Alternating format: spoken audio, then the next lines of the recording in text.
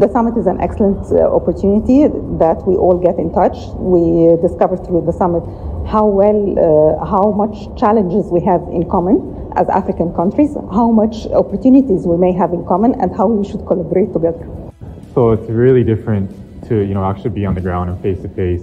You know, as a VC coming from Japan, this kind of physical interactions is definitely worth it. Um, 35 hours of flight, but you know every hour is worth it. And so far, yeah, it's been great.